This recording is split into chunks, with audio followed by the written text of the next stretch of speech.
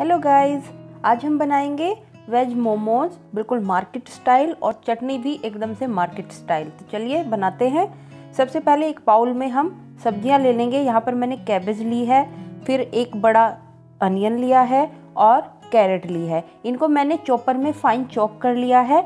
एक चम्मच मैंने यहाँ पर हरी मिर्च डाली है। इनको अच्छे से मिक्स कर लेंगे। आप या तो चॉपर की मदद ले लीजिए या फिर आप नाइफ से ही फाइन चॉप कीजिएगा। सब्जियों को हमें बिल्कुल बारीक करना है।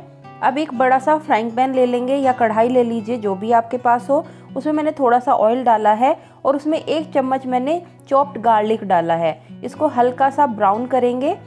अब हम इसमें सब्ज़ियाँ जो मिक्स करके रखी थी, उनको डाल देंगे। आपको यहाँ पर हाई फ्लेम ही रखनी है। आप लो फ्लेम पे बिल्कुल भी मत मकाइएगा। हमें इसका पानी सुखाना है सब्जियों का। तो इसे आपको हाई फ्लेम पे पकाना है। अगर हम लो फ्लेम पे पकाएँगे तो सब्जियों अपना पानी छोड़ देंगी और सौगी हो जाएँगी। तो अब मैं इसमें ऐड कर रही हूँ black pepper powder black pepper powder मैं हाफ़ टी स्पून डाल रही हूँ लगभग। अब मैं इसमें वन टीस्पून डालूँगी सोया सॉस ये देखिए, और अब मैं वन टीस्पून ही लगभग डालूँगी रेड चिली सॉस अब इसमें हम वन टीस्पून ही विनेगर ऐड कर देंगे और इसको अच्छे से मिक्स कर लेंगे। देखिए। हाई फ्लेम पे ही आपको इसको रखना है। आपको लो फ्लेम कहीं पर भी नहीं करनी है। अब सब्ज़ियाँ थोड़ी सी ड्राई हो गई हैं। अब हम इसमें नमक ऐड करेंगे। हाफ़ टी स्पून से भी थोड़ा कम मैंने इसमें नमक डाला है और इसको हम अच्छे से मिक्स कर लेंगे और गैस को यहाँ पर आप बंद कर दीजिए और इसको ठंडा होने के लिए रखेंगे। उससे पहले हम इसमें हरा धनिया डालेंगे। अगर आपके पास स्प्रिंग अनियन है तो आप वो भी चॉप करके बारीक बारीक इसमें ऐड कर सकते हैं। अब इसको हम ठंडा होने के लिए रख देंगे और ये फिलिंग तैयार हो गई है। अब हम डो लगा लेंगे। यहाँ पर मैंने लगभग डेढ़ कप मैदा लिया है। अब मैं इसमें नमक ऐड करूँगी। आप यहाँ पर अपने टेस्ट के अकॉर्डिंगली नमक डालें। मैं यहाँ पर हाफ़ टी स्पून से थोड़ा कम ही नमक डाल रही हूँ, क्योंकि फिलिंग में भी नमक होगा। तो उसी को ध्यान में रखते हुए नमक ऐड कीजिएगा। अब यहाँ पर मैंने वन टीस्पून डाला है ऑयल और अब हम इसको गूंद लेंगे पानी डाल के। आपको जितना रिक्वायरमेंट लगे उतना इसमें पानी ऐड कीजिएगा। हमें इसका सॉफ्ट डो बनाना है। इसको हमें हार्ड बिल्कुल भी नहीं रखना है। ये देखिए, मैं इसको अच्छे से गूंद लूँगी। अब मैं इसके ऊपर हाफ़ टी स्पून ऑयल डाल रही हूँ और इसको ऑयल लगा के हम थोड़ा सा मसल लेंगे। देखिए और इसको फिर हम रेस्ट होने के लिए रख देंगे। लगभग 15 मिनट के लिए रखें इसे ताकि हमारा जो डो है वो अच्छे से सेट हो जाए। ये देखिए कितना अच्छा और सॉफ्ट डो बना है, इसको साइड में रख देंगे। अब हम बनाएँगे चटनी, जो हम मोमोज के साथ खाते हैं। उसके लिए एक भगोने में एक गिलास पानी ले लें और टमाटर ले लें। चार टमाटर मैं ले रही हूँ, जिसमें दो देसी टमाटर हैं और दो हाइब्रिड टमाटर हैं। उनको ऊपर से कट लगा लिया है और मैंने सात से आठ लाल सूखी मिर्च डाली हैं। टमाटर में कट इसलिए लगाते हैं ताकि जो है हम इसका छिलका अच्छे से रिमूव कर पाए। अब पूरा पानी आपको सुखा देना है ताकि मिर्च जो है हमारी सॉफ्ट हो जाए अच्छे से। मिर्च अच्छे से जब सॉफ्ट हो जाएगी तो वो बहुत अच्छा कलर देगी और अच्छे से ग्राइंड हो जाएगी। तो अब हम टमाटर और ये हमारा ठंडा हो गया है। अब इसको हम इसका जो ऊपर का जो छिलका है, उसको रिमूव कर लेंगे और ऊपर से हम इस पार्ट को भी काट के अलग कर देंगे। तो अब इसको हम मिक्सी के जार में डाल लेंगे। देखिए, इसका हमें बिल्कुल फाइन पेस्ट बनाना है और इसको अब हम पीस लेंगे। ये देखिए, मैंने पीस लिया है और ये कितना अच्छा इसका कलर आया है।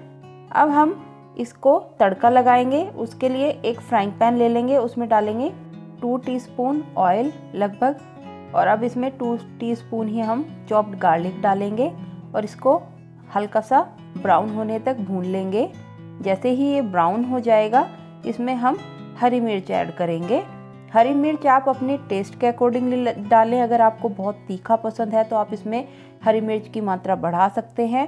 वैसे ये चटनी बहुत तीखी ही होती है क्योंकि हमने इसमें काफ़ी सारी मिर्ची ऐड की है। अब हम इसमें टमाटर और मिर्च का जो पेस्ट बनाया है, वो डाल देंगे।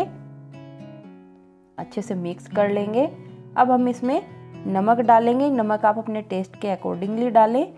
यहाँ पर मैं हाफ़ टी स्पून से थोड़ा कम ही डाल रही हूँ और वन टीस्पून हम इसमें चीनी डाल रहे हैं। अब इसमें मैं विनेगर ऐड करूँगी।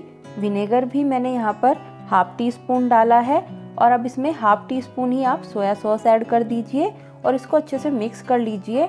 हमें इसे बहुत ज़्यादा नहीं पकाना है और ये ठंडा करके हमारी जो है चटनी एकदम से तैयार है। अब हम देखते हैं डो डो देखिए बहुत ही सॉफ्ट हो गया है। अब हम इसको रोल कर लेंगे और इसको हम इसमें से छोटी छोटी बॉल्स निकाल लेंगे। इसको हाथों में स्मूथ कर लेंगे अच्छे से। ये देखिए अब इसको बेल लेंगे। हमने इसमें थोड़ा सा ऑयल डाला था ऊपर से तो इसलिए ये नीचे चिपकेगा नहीं और इसको ऐसे हम एक पूरी की तरह बेल लेंगे। जितनी हम पूरी बनाते हैं, उतनी ही साइज़ में हम इसको बेल लेंगे। अब हम इसमें फीलिंग जो हमने बनाई थी, उसको ठंडा कर लिया है हमने और इसको मैं इसमें डालूँगी। आप अच्छे से इसमें फीलिंग ऐड करें। देखिए। मैं थोड़ी सी और इसमें फिलिंग भर दूँगी। अब इसको आप जिस शेप में बनाना चाहे, उस शेप में इसको फोल्ड कर लीजिए।